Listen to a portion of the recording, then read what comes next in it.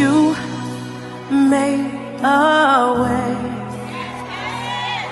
When my back was against the wall and it looked as if it was over.